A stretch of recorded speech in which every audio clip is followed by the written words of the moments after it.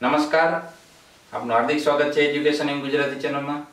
આજે આપણે સાતમા ધોરણના મેથ્સ વિષયનું ચેપ્ટર અગિયારમું પરિમિતિ ક્ષેત્રફળ બીજો પીરિયડ પાર્ટ બીજો. આ પીરિયડમાં આપણે શીખીશું અગત્યના દાખલાઓ જે સ્વાધ્યાય પોથીને લગતા છે. કે ઘણા બધા વિદ્યાર્થીઓને એવી કોમેન્ટ આવતી હતી કે સ્વાધ્યાય પોથીના તમે દાખલા મૂકો સોલ્વ કરીને. તો આપણે એ પ્રયાસ કર્યો છે. તો એમાં પ્રશ્ન છે આપણે દાખલો કે સમાંતર બાજુ ચતુષ્કોણ ABCD માં AD બરાબર 4 સેમી છે અને CD બરાબર 6 સેમી છે. જો BM રેખા છે લંબ હોય CD રેખાને અને BN રેખા છે લંબ હોય AD રેખાને, તો વેધ BM બરાબર 3 સેમી હોય. તો વેધ BN નું શોધવાનું છે આપણે BN નું માપ આપણે આપ્યું નથી. તો આપણે આકૃતિમાં ABCD સમાંતર બાજુ ચતુષ્કોણ તમને દેખાડ્યો છે. એમાં વેધ દર્શાવ્યા છે, બરોબર? કે બીએમ છે, બરોબર? આ બીએમ છે. બીએમ એ 3 સેમી છે. આ બીસી સીડી માપ આપ્યું છે 6 સેમી. બધા માપ દર્શાવી દીધા છે. આ આપી દીધું વેધ ઈ 4 સેમી છે. પણ ટૂંકમાં આપણે બીએમ જે વેધ છે, એ આપણે ખ્યાલ નથી. તો એ આપણે ગોતવાનો છે. તો સમાંતર બાજુ ચતુષ્કોણનું ક્ષેત્રફળ સૂત્ર કહે તો જે એની પહોળાઈ અને હાઈટ એની, બરોબર? એનો ગુણાંકમાં થાય. તો એને પહોળા લંબાઈ બી છે બી અને આમ હાઈટ કે એટલે આ હાઈટ થઈ ગઈ એની. આમ પોળા હતી, પણ આમ એની હાઈટ થઈ ગઈ. છ 6 ગુણ્યા ત્રણ એટલે 18 સેમી સ્ક્વેર થઈ ગયું. સમાંતર બાજુ ચતુષ્કોણનું ક્ષેત્રફળ પેલા આપણે મળી ગયું. હવે ધારો કે આપણે bn ગોતવાનું છે, bn, આ bn, આ બાજુ બરોબર? એ વેદ ગોતવાનો છે. તો એને ધારી લીધો કે bn છે ને વેદ, ઈ એક્સ આપણે ધારી લીધું ધારો કે એને એક્સ નામ આપી દીધું. તો સમાંતર બાજુ ચતુષ્કોણ બરાબર b ગુણ્યા એક્સ બી તો છે જ આપણી પાસે. બરાબર? અને આ બી આપ્યો છે. પછી આ આમ કરી નાખવું અને ફેરવવાનું. આ આમ કરીએ, આ આકૃતિ આ આખી તો આ એની લંબાઈ થઈ ગઈ. વેધ. અને આ એની પહોળાઈ થઈ ગઈ. એટલે એનો બી થઈ ગયો. બરાબર? તો સમાંતર પછી ચતુષ્કોણ બી ગુણ્યા એક્સ શું થશે? તો આપણે સમાંતર પછી ચતુષ્કોણનું માપ હમણાં જ લીધું 18 સેમી સ્ક્વેર તો એ પેલા મૂકી દીધું. પછી બી આપણે આપેલો છે એમાં. કે 4 સેમી છે. આમ કરીને કે આકૃતિ આખી બરાબર 90 ડિગ્રી આખી ઊભી કરી દેવાની. એટલે એટલે 4 મળી ગયો. હવે x આપણે ખબર છે નહીં તો ગોતવાનું છે. x કોણ? bn. હવે આ ગુણાકારમાં છે અહીંયા, આ 4 છે, ઈ બરાબરની આ બાજુ આવે ને ભાગાકારમાં. એટલે આમ આમ લખ્યું છે ઉથમું. બરાબર? ઉલટું લખેલું છે.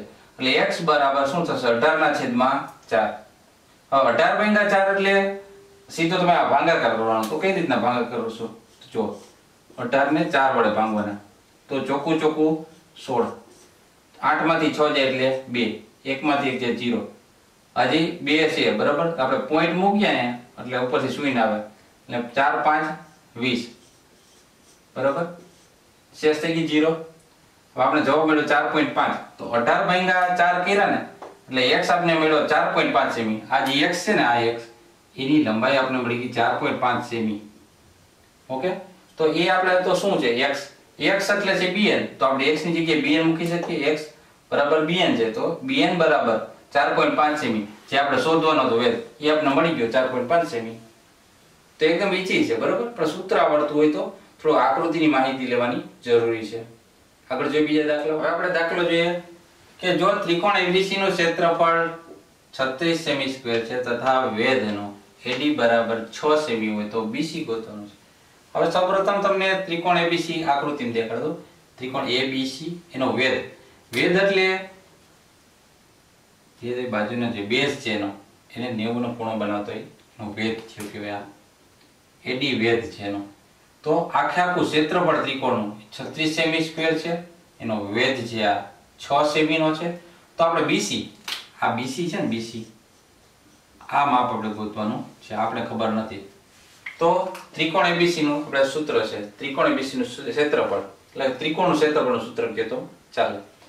ત્રિકોણ એબીસી નું ક્ષેત્રફળ બરાબર એકના છેદમાં ગુણાકાર નિશાની પાયો ગુણ્યા પાયા પરનો વેધ ત્રિકોણનું ક્ષેત્રફળ બરાબર એકના છેદમાં બે એટલે અડધું પાયો ગુણ્યા પાયા પરનો વેધ હવે આપણે ગોતવાનું શું છે? બીસી ગોતવાનો. આ વેધની જે આપણે પાયો ગોતવાનો છે. પાયો ગોતવાનો છે.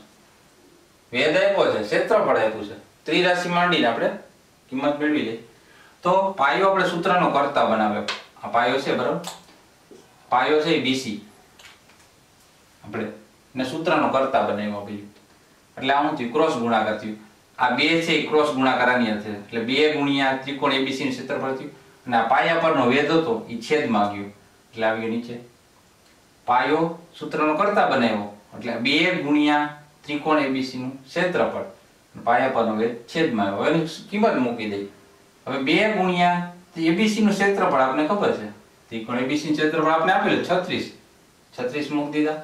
પાયા પરનો વેધ એટલે એડી પાયા પરનો આ વેધ છે આખો એડી છ સેમી, તો છેદમાં હું મૂક્યું? છ.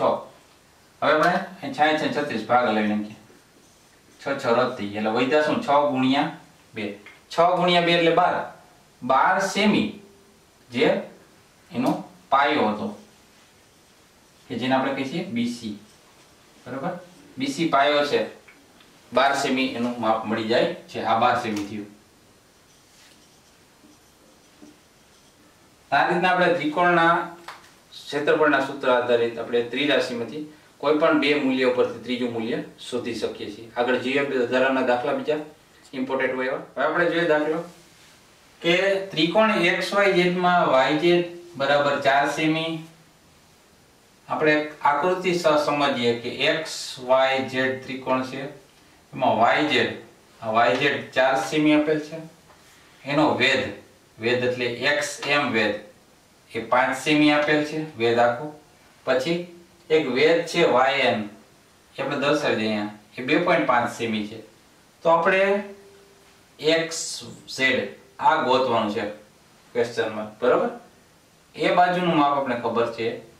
નહીં, તો એ શોધવાનું છે.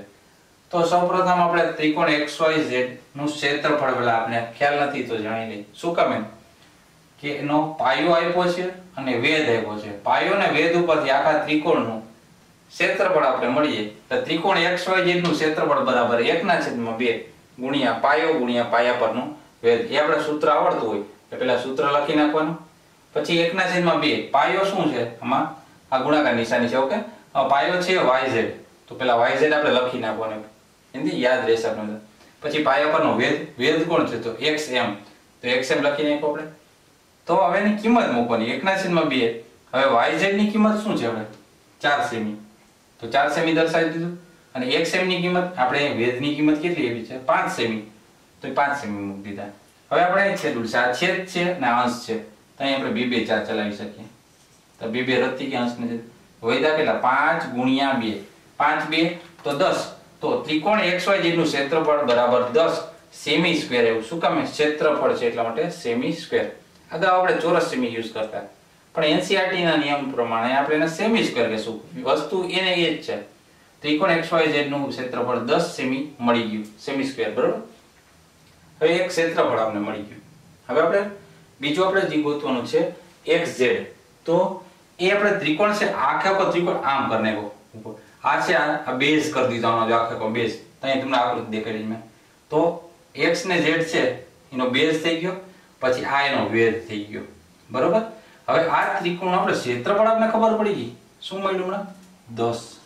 સેમી સ્ક્વેર આખે આખા ત્રિકોણનું ક્ષેત્રફળ આપણે મળી ગયું. તો ક્ષેત્રફળ અને વેધ. આ ક્ષેત્રફળ એક વસ્તુ ને વેધ આ બીજી વસ્તુ. એને આધારિત આપણે એનો પાયો. પાયો છે ગોતી શકશું. બે વસ્તુની કિંમત ઉપર ત્રીજી વસ્તુની કિંમત આપણે મળી જશે. કઈ રીતના? હવે આપણે ત્રિકોણ કયો થયો? વાય ઝેડ એક્સ કમે નામ આપી શકો. તો આપણે નામ આપ્યું ઝેડ વાય એક્સનું ક્ષેત્રફળ. કારણ કે ત્રિકોણ એનો એ જ છે. બરોબર? ખાલી આપણે નામ ચેન્જ કર્યા પણ એ ક્ષેત્રફળ, સૂત્રફળ, પાછું લગાડવાનું ત્રિકોણનું ક્ષેત્રફળ બરાબર એકના છેદમાં બે ગુણ્યા પાયો ગુણ્યા પાયા પરનો વેધ આ વસ્તુ આ કેમ ત્રાસી આપણે કરીને આખી બતાવી દીધી છે. ક્ષેત્રફળ આપણે મળી ગયું દસ, તો દસ મૂકી દીધી કિંમત. બરાબર એકના છેદમાં બે. પાયો આપણે ખબર નથી, જાણતા નથી, એટલે એમને રાખ્યું. એ આપણે ગોતવાનું છે. પાયા પરનો વેધ. પાયા પરનો વેધ આપણે ખબર છે? વાય, એન આપણે ખબર છે? બે પોઈન્ટ પાંચ સેમી. બે પોઈન્ટ પાંચ સેમી પચીસ ના છેદમાં દસ કેમ થયું? તો આ બે પોઈન્ટ પાંચ દશાંશમાંથી એમને કન્વર્ટ કરી એમને અપૂર્ણાંકમાં. બરાબર? તો પચીસ. એક પોઈન્ટ રદ કરીએ એટલે છેદમાં મીંડું આવે. એક મીંડું આવશે. કારણ કે એક પોઈન્ટ રદ થયો પછી. અહીંથી એમ પોઈન્ટ રદ થયો. તો દશક ઉપર એકમ પર ગયો તો એક મીનું એડ થઈ એટલે પચીસ ના છેદમાં દસ લખી શકાય છે. હવે પાયો છે એના સૂત્રનો આપણે કરતા બનાવશું. એટલે દસ ગુણ્યા બે થઈ જશે. આ ક્રોસ ગુણાકાર થશે. દસ ગુણ્યા બે. અને નીચેના દસ હતા એ પણ ઉપર જશે. એટલે દસ ગુણ્યા બે ગુણ્યા દસ. અને પચીસ છે એ છેદમાં જશે. બરોબર? ક્રોસ ગુણાકાર થયો. એટલે દસ ગુણ્યા બે ગુણ્યા દસ છેદમાં પચીસ. ક્રોસ ગુણાકાર થયો છે. ના, છેદમાં. હવે આપણે ભાગ હલાવશું. કઈ રીતના કે પાંચ, બે, દસ. અહીં પાંચ, બે, દસ. આ શું કામ લેવા કે નીચે પચીસ છે, તો પચું પચું, પચીસ. આ પાંચ પાંચ રદ કરવા માટે. રદ થઈ ગયા, નીચેના પચીસ બધાય. ઉપર હોય તો બે ગુણ્યા બે ગુણ્યા બે. તો અહીં આપણે લખી નીકા બે ગુણ્યા બે ગુણ્યા બે. બરાબર? તો બે બે, ચાર ચાર, બે, આઠ. આ વાય બરાબર છે પાયો છે, વાય ઓલે ઝહરી ઝેડ એક્સ. ઝેડ છે આપણો પાયો. તો એ ઝેડ છે, એ આઠ સેમી જાય છે. ઝેડ ને એમ કહ્યું કે એક્સ ઝેડ કહી શકો. બરાબર? એટલે જે આપણે જોતું હતું, એ આપણને મળી ગયું છે. તો આપણે એકવાર પાછું રિપીટ કરી દઈએ. પહેલા આપણે ત્રિકોણનું આ જે છે, એનું ક્ષેત્રફળ ગોતી લીધું. એ ક્ષેત્રફળ મળી ગયું. પછી એને આપણે શું યુઝ કર્યું? કારણ કે ક્ષેત્રફળ પરને વેધ ઉપરથી આપણે ત્રીજી બાજુનું માપ મેળવવા માટે પાછું આપણે ત્રિકોણ ક્ષેત્રફળનું સૂત્ર મૂક્યું. એમાં કિંમત મૂકી. એના છેદ ઉડેલા. અને એ પ્રમાણે એનું આપણે સેમીમાં મળ્યું. શું કામ બાજુનું માપ તો સેમીમાં જ હશે. ઓકે? તો આપણે એકમમાં સેમી લગાડવું જરૂરી છે. તો આ રીતના દાખલાઓ આપણે સરળતાથી સ્ટેપ બાય સ્ટેપ શીખી શકીએ. તો આ તો આપણે ધોરણ સાતમાના મેથ્સ વિષયનું. ચેપ્ટર અગિયારનું પરિમિતિ ક્ષેત્રફળનો પીરિયડ બીજો પાર્ટ બીજો. જોતા રહો એજ્યુકેશન ગુજરાતી, શીખતા રહો. થેન્ક યુ આભાર.